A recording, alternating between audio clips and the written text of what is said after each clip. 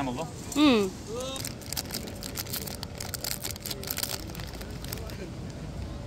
어때? 두부야? 먼저 먹어볼까?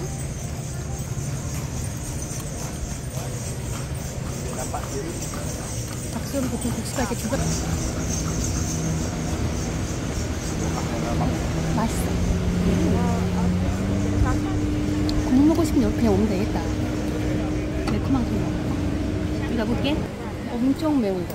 음. 새콤 매콤, 새콤하면 살짝 매콤한 거. 제 입맛에 맞는 몸무게야.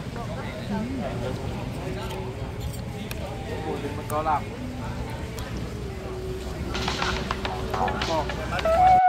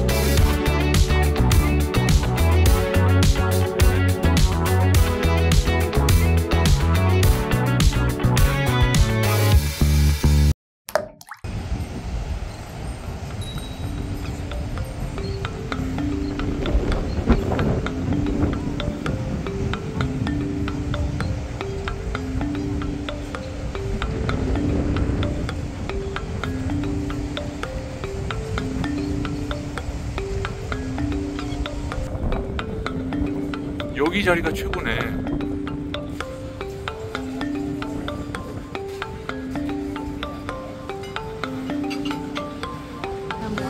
음, 엄청난 대나무. 그리고 위에도 이 정도가 기본 되냐고. 어 그냥 다 묶어놨어. 이거 엄청난 건물이야.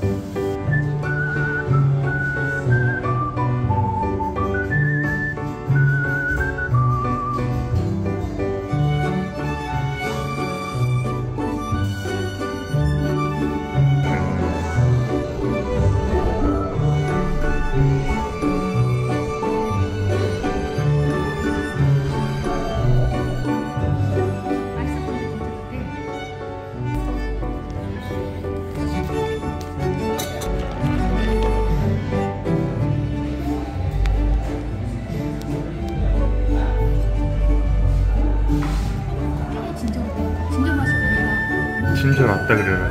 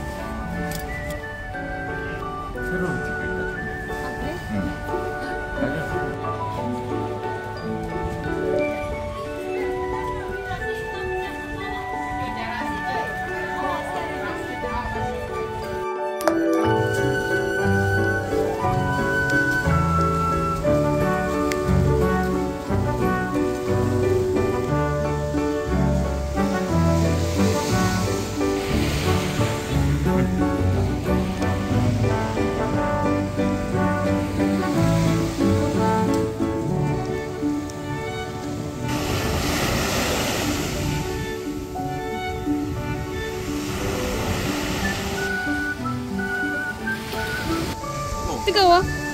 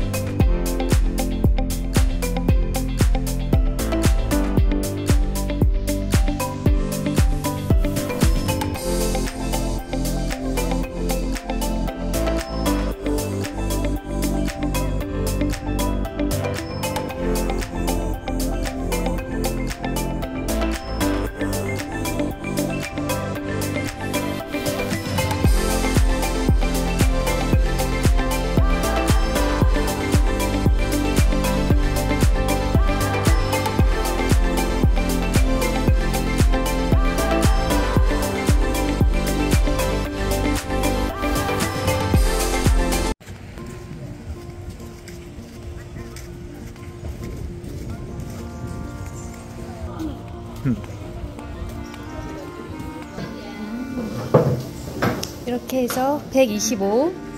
약 11,000원? 음, 포카리까지 포함입니다. 음, 맛있게 드세요.